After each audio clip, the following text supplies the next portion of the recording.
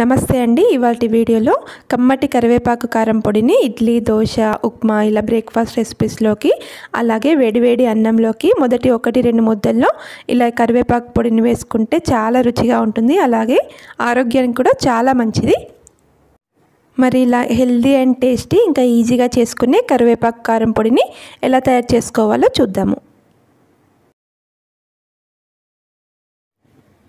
ముందుగా ఒక కడాయిలో కొద్దిగా ఆయిల్ని వేడి చేసుకొని అందులోకి రెండు టేబుల్ స్పూన్ల మినపప్పును వేసుకొని మీడియం ఫ్లేమ్లో దూరగా వేయించుకోవాలి. మీరు కావాలంటే మినపప్పు ప్లేస్లో శనగపప్పును కూడా తీసుకోవచ్చండి. లేదా సగం శనగపప్పు సగం మినపప్పును కూడా తీసుకోవచ్చు. ఎలా ఎవరి టేస్ట్కి తగ్గట్టు వాళ్ళు వేసుకోవచ్చు. అలాగే ఇందులో వన్ టేబుల్ స్పూన్ ధనియాలు వన్ టీ స్పూన్ జీలకర్ర ఒక పది ఎండుమిర్చిని వేసుకొని బాగా ఫ్రై చేసుకోవాలి. ఇవన్నీ కూడా కమ్మటి వాసన వచ్చే వరకు మీడియం ఫ్లేమ్లో ఫ్రై చేసుకోవాలి. ఇలా ఫ్రై అయిన తర్వాత స్టవ్ ఆఫ్ చేసుకొని ఒక బౌల్లోకి తీసుకొని చల్లారనివ్వాలి.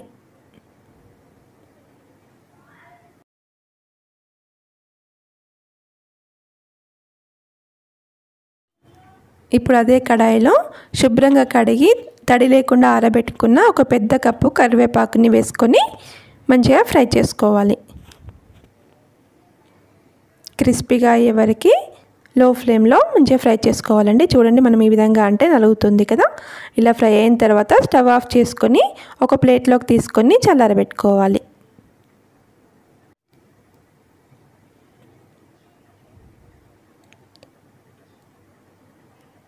కరివేపాకు చల్లారిన తర్వాత ఒక మిక్సీ జార్లోకి వేసుకోవాలి. అలాగే మనం ముందుగా వేయించి పెట్టుకున్న పప్పులు ఇంకా ఎండుమిర్చి ఉంది కదా అది కూడా వేసుకొని ఇందులోకి రుచికి సరిపడా ఉప్పును వేసుకోవాలి.